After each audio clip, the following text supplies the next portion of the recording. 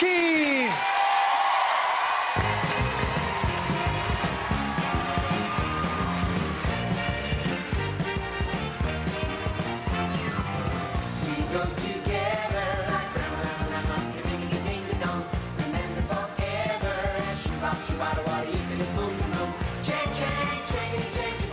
That's the way it should be. Wow,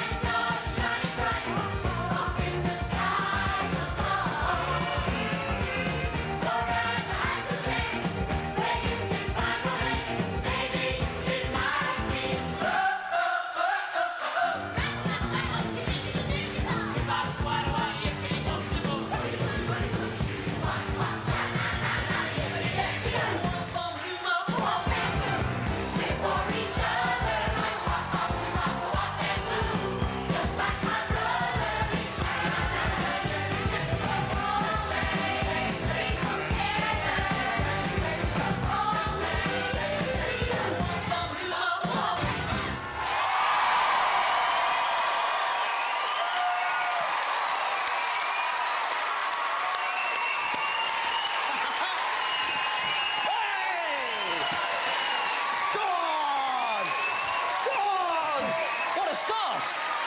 What a start! Now, I only want to worry you two, because the other day you had streamers everywhere, now there's balloons everywhere. You're making a right mess of our studio this week. You're going to get out if you don't watch it. How was that? Did you enjoy that? Amazing. Amazing. Yeah? I have to say, there is there is thousands and... Oh, you okay? Yeah? Little cough. Oh, dear. A little bit worried there. I have to say, there is... Th oh, she's gone. We'll get you a drink of water in a second, OK? We'll cross over to the judges and see what they thought of that act. Judges! Well, look, to give everyone some idea just how cheeky you two are, I'm going to let everyone into a little secret. Earlier, the judges all heard a rustling under our dressing room doors, and we all got these handwritten, Simon handwritten letters from the cheeky monkeys, and we all had our own little messages. Mine ended up saying, "This is from Charlie. P.S. I'm digging you right now."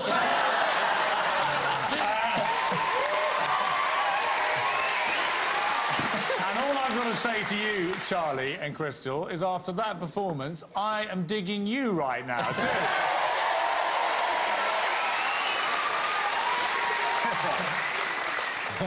Did you have fun out there tonight? Yeah. Is it just the best week and the best year ever? Yeah. Yeah, it has been for me as well. You're just infectious. You have such great fun and you're cute, but you can back it up. I know I keep saying it, but you're really, really talented. You've done phenomenally well in this competition.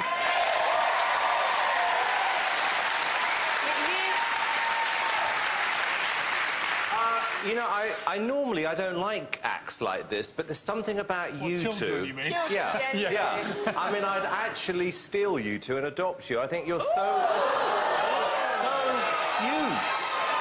Um, I don't know what it is. Uh, I've never felt this way normally about kids. But if, if anyone's going to win on the cute factor, it's you two because that was terrific routine.